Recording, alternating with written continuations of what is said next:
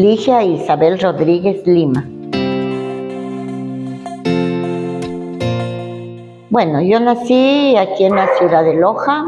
Y yo lo que recuerdo, algo que me ha quedado impregnado en mi niñez es eh, los juegos que hacíamos. Y tuve bonito, me acuerdo, porque yo viví mi primera infancia. Eh, algo recuerdo en la calle Olmedo y Azuay. Y luego lo que más me acuerdo es que vivimos en la Villa Matilde. Fui a la escuela 18 de noviembre. Luego los estudios secundarios en el Colegio Beatriz Cueva de Llora.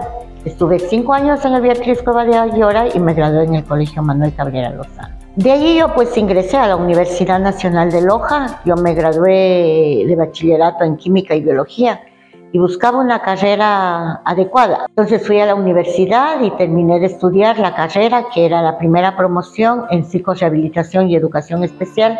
Era una carrera de seis años. He trabajado con mi, con mi carrera eh, de profesora universitaria, de profesora secundaria también en el Colegio Manuel Cabrera Lozano.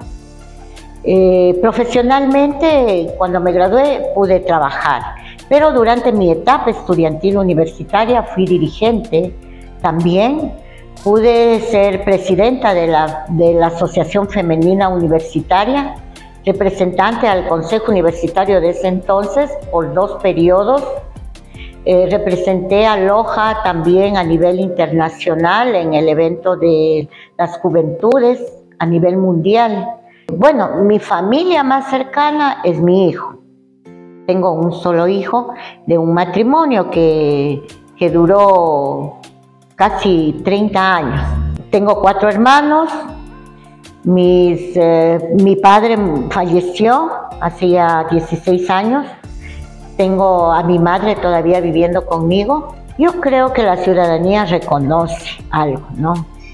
Y reconoce en mí una mujer de principios. La gente me reconoce también porque ellos dicen, ella es luchadora, ella es peleadora. Yo tampoco no le voy a bajar la guardia a eso.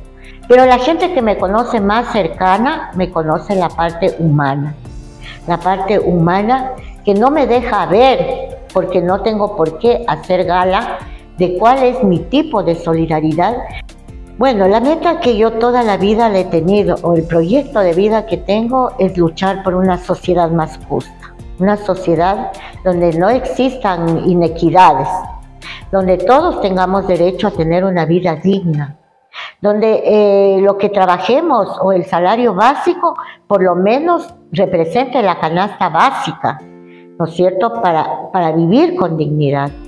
Eso es lo que el anhelo que he tenido toda mi vida. Yo quiero decirle a los ciudadanos de Loja, en nosotros, el pueblo, nace también una esperanza. Y la esperanza está precisamente en las propuestas que nosotros le hemos señalado y que son parte del diario vivir de nuestra gente. Nuestro pueblo necesita una administración ética, transparente. Eso es lo que nosotros le proponemos para este nuevo año, que vean que todavía hay en quien confiar y que las mujeres con nuestra parte maternal que nos une y que nos hace responsable de una vida, nos puede hacer responsable de la vida de todos. Por eso que este nuevo año sea un año de esperanza, un año de recuperación de los valores de los lojanos, un año que nos enseñe a nosotros a vivir con dignidad.